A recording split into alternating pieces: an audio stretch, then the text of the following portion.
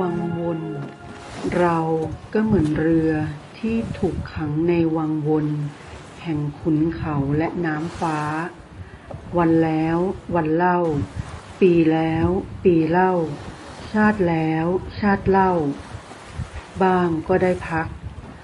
บ้างก็ต้องอ้อยเอื่อยออกไปสู่เบื้องหน้าอย่างเกียจคร้าน บ้างก็แก่นกล้าท้าทายยังไม่รู้เลยว่า ตนนั้นยังโดดดิ้นอยู่เท่าไหร่จะรู้อยู่บ้างเพียงลางๆว่า